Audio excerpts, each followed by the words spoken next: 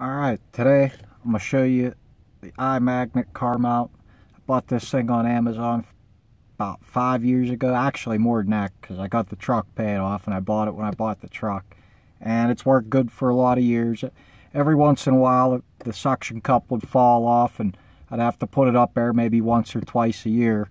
And now that it's gotten so old, it falls off all the time.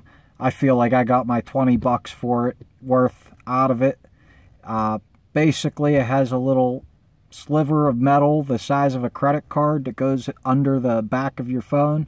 And there's a magnet on the tip here. And it sticks to it without having to have a cradle. It's really nice, snaps on and off.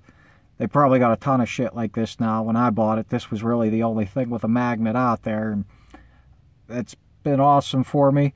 And struck by the time I sell it, it's going to be worth almost nothing anyway. So I'm just going to glue it with some JB Weld plastic weld.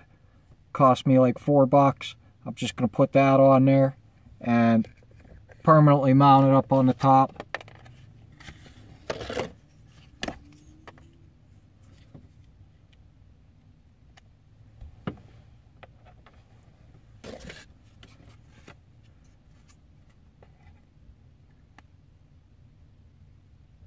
Should be pretty quick. Says it sets in five minutes.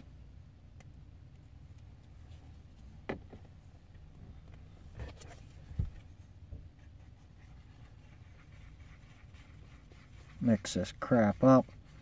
I didn't realize I had to mix it. I thought it funneled it into a tube and mixed it itself like some stuff I use at work sometimes, but doesn't. So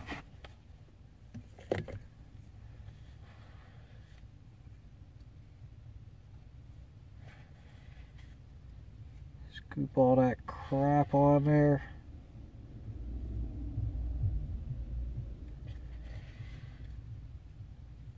Hurry up before it starts to gel.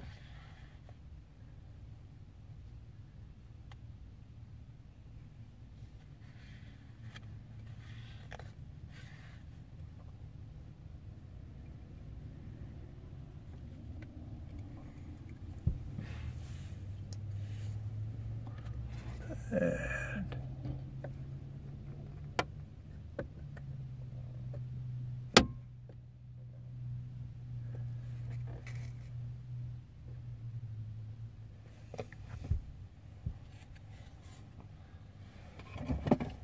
and